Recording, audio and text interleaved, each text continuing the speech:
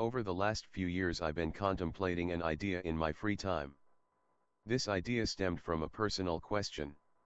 It was, how would the solar system function if Earth was flat? The model I've generated to help answer my question began when I found this NASA mission report called, Measuring Ozone from Space Shuttle Columbia. It said, the Shuttle Columbia carried the Shuttle Ozone limb sounding experiment 2 as a demonstration of new technology that will be used on the next generation of meteorological satellites to monitor ozone change. Current instruments flying on NOAA and NASA satellites look directly downward toward the Earth, which limits their ability to accurately measure ozone in the lower layers of the stratosphere. New technology called limb viewing allows observation of the atmosphere from the side rather than straight down. When viewed from the side, the Earth looks like a flat circle, and the atmosphere appears like a halo around it. This halo is known as Earth's limb. From that side view, the layers of the atmosphere appear like layers in a cake, allowing instruments like SLS-2 to see the lower layers of the stratosphere. This is important because most of the recently observed ozone change, like the ozone hole, occurs in the lower stratosphere. Why would NASA purposely hold online for historic purposes a mission report that states Earth is flat and circular, if it wasn't? The supply geometric parameters set forth by this mission report became the foundation from which my cosmological egg grew.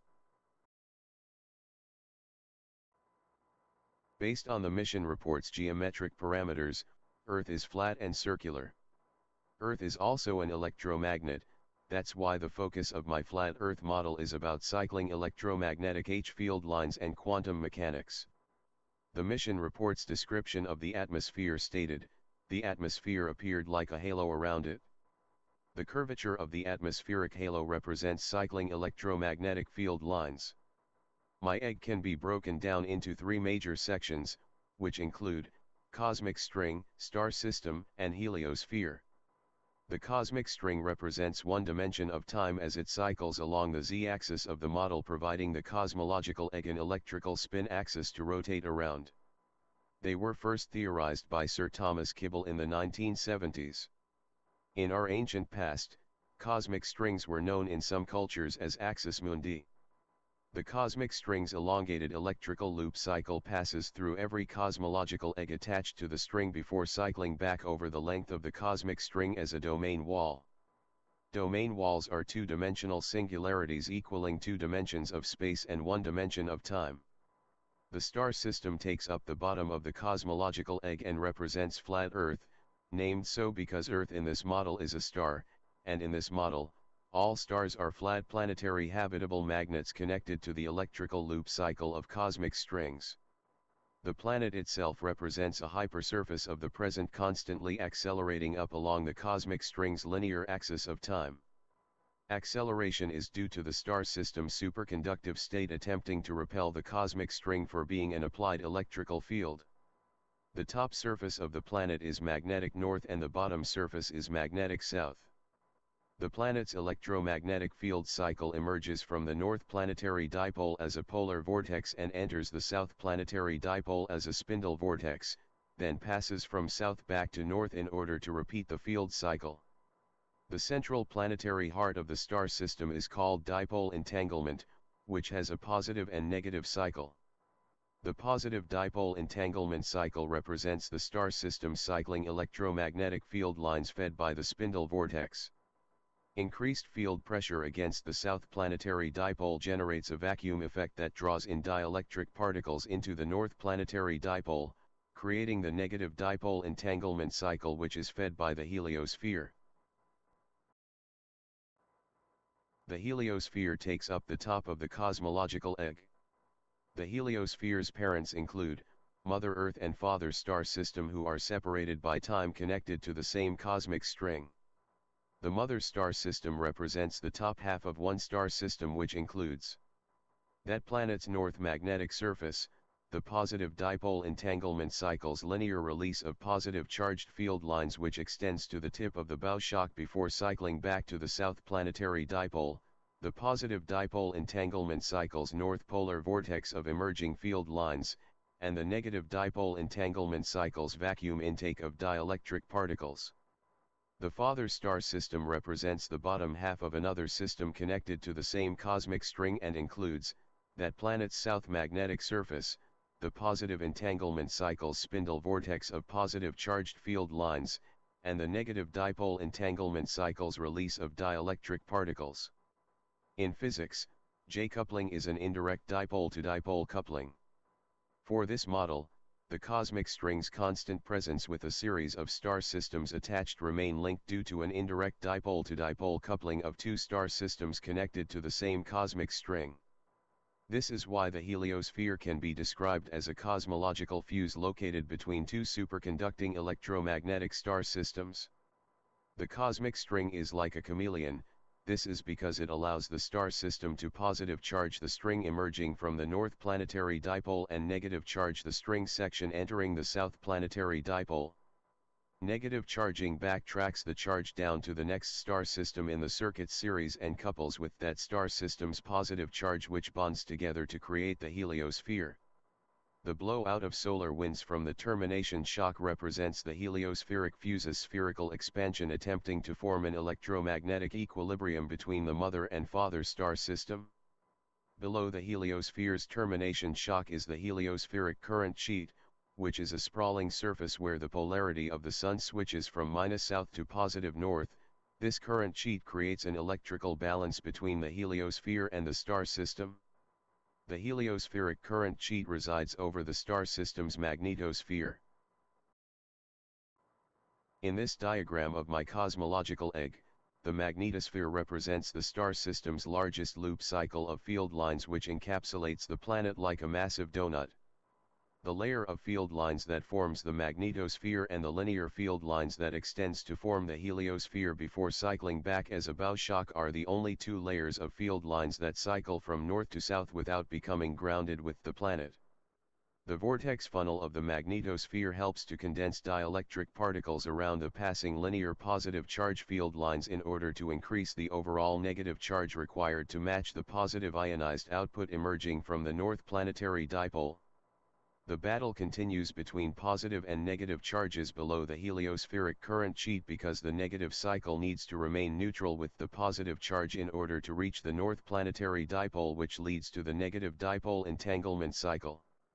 The battle is between the heliosphere's increasing negative charge and the increased positive charge supplied by the spindle vortex. The positive output supplied to the star system by the spindle vortex is consistent, this means the negative charge only needs to condense to a matching overall charge in order to reach the north planetary dipole. As the dielectric charge begins to condense, it passes through a few optic-like electromagnetic lenses, called heliospheric current sheets. Since each sheet cycles in unison, it's difficult to distinguish one layer from another, so the only current sheet that will stand out is the top sheet, which rotates around the cosmic string like a ballerina skirt that represents alternating positive and negative currents. The magnetosphere's vortex acts like a chalice collecting dielectric particles to condense and help maintain a balance between a high energy order of magnitude and a dielectric order of magnitude that can condense to increase its charge in order to overcome an electrical barrier. As the dielectric charge constantly condenses to pass through each of the three heliospheric current sheets, the remainder of dielectric particles that fail to condense to the next level are rejected from their linear trajectory in a deflection stream along a new trajectory away from the cosmic string.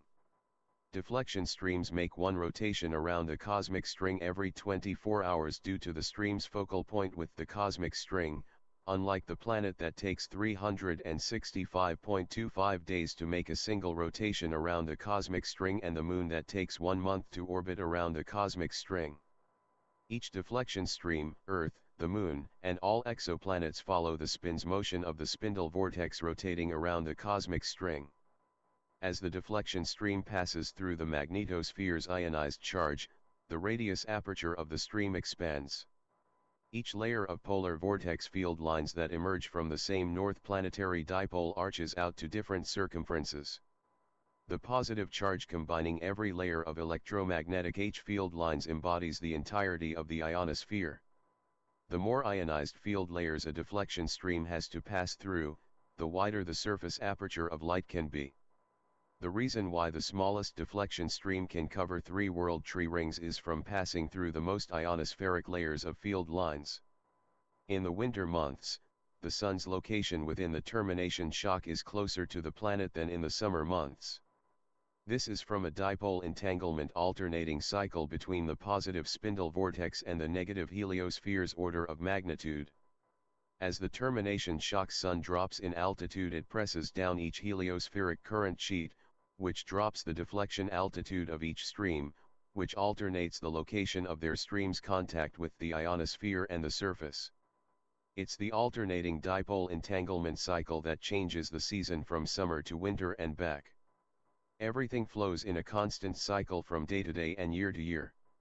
As the smallest deflection stream's altitude of release is pushed closer to the north planetary dipole for the winter, its stream begins to collide with the downward slope of the stratospheric polar vortex which increases the overall electrical charge of that layer's field lines. The increased charge of stratospheric field lines increases the barrier strength of that polar vortex surrounding the north planetary dipole which allows temperatures to decrease for the winter months within the stratospheric coverage circumferences. For this model, there are seven different polar vortices. Each polar vortex doubles in size over its predecessor. The smallest polar vortex is the tropospheric polar vortex. Following the tropospheric polar vortex in size is the stratospheric polar vortex. Then the mesospheric polar vortex. Thermospheric polar vortex. Exospheric polar vortex. Magnetospheric polar vortex. And then the heliosphere. Each polar vortex that emerges from the north planetary dipole loops as part of the star system's positive entanglement cycle. I modeled the positive entanglement cycle after Einstein's energy-mass equivalence. Einstein was the first to propose that the equivalence of mass and energy is a general principle and a consequence of the symmetries of space and time. I modeled the negative entanglement cycle after Faraday's law of induction which states, the induced electromotive force in any closed circuit is equal to the negative of the time rate of change of the magnetic flux enclosed by the circuit. The overall view of the star system's entanglement cycle pushes that the system's total current density and electrical charge output of that field passes through the planetary magnet one direction with a clockwise easterly spin rotation, and the negative time rate of change passes through the planetary magnet the opposite direction with a counterclockwise westerly spin rotation, due to their entanglement.